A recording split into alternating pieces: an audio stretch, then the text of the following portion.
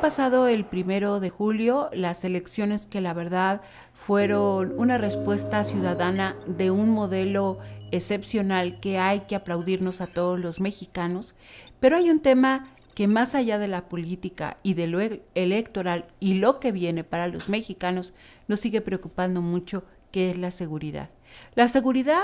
la violencia desatada en todo el país,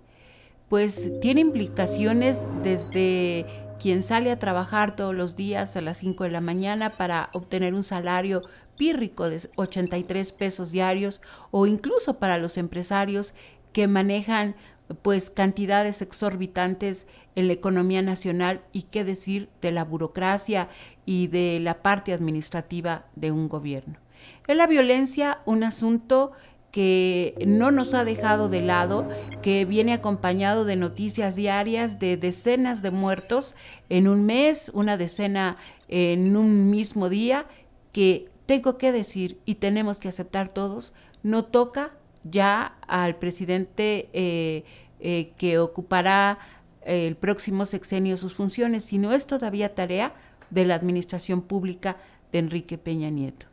Tiene que darnos respuestas, ya nos ha dicho que no está satisfecho, pero nosotros lo que queremos y lo que requerimos